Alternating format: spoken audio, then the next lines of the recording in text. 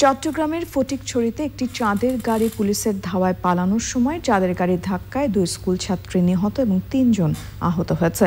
বুধবার দুপুরে ওই ঘটনায় জনতা এক ঘণ্টা সড়ক অবরোধ করে রাখে।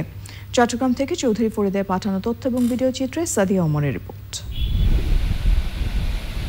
ফটিকছড়িতে চাঁদের গাড়ির ধাক্কায় দুই স্কুল ছাত্রী নিহত হওয়ার ঘটনায় চট্টগ্রাম খাগড়াছড়ি মহাসড়ক অবরোধ করে পুলিশের মোটর সাইকেল পুড়িয়ে দিয়েছে বিক্ষুব্ধ জনতা।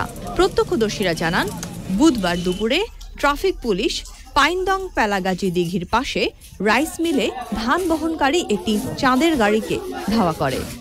ধাওয়া খেয়ে পালানোর সময় চাঁদের গাড়ির চালক দুই স্কুল ছাত্রীকে ধাক্কা দেয়। এতে স্থানীয় পাইনদং হাইদজকিয়া উচ্চ বিদ্যালয়ের দুই ছাত্রী মিশু আক্তার ও নিশামণি ঘটনাস্থলে প্রাণ হারান।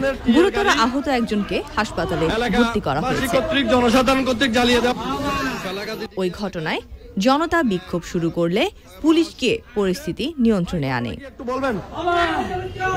চাঁদের গাড়িটি স্থানীয়রা জব্দ করেছে তবে সেটির চালক এবং সহকারী পলাতক রয়েছে।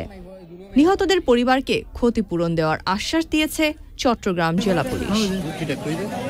সাদিও মোর চ্যানেল আই